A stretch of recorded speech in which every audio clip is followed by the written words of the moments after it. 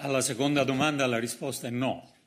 La Commissione non, non ha nessuna intenzione di, di, massacrare nessuno, tantomeno. Eh, sulla prima domanda, ehm, nelle, nelle, nostre eh, raccomandazioni ci sono sei parole che posso anche leggere e eh, allineare i valori, aggiornare i valori catastali ai ehm, valori attuali di mercato.